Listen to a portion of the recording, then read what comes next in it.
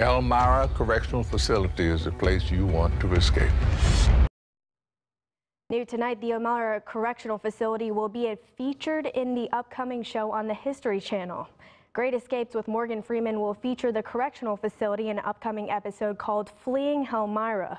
The show is an eight-part series exploring real-life prison breaks from an up-close and personal view of what the prisoners are faced with in executing their breakouts. Here's a quick look at the trailer. Inmates Timothy Veal and Timothy Morgan are attempting to break through the ceiling of their cell to reach the roof of the dangerous and dank Elmira Correctional Facility. They've reached a snag and hit rebar. The episode featuring the Elmira Correctional Facility de will detail two desperate murderers who made a rooftop escape from the prison will air tomorrow, December 21st at 10 p.m.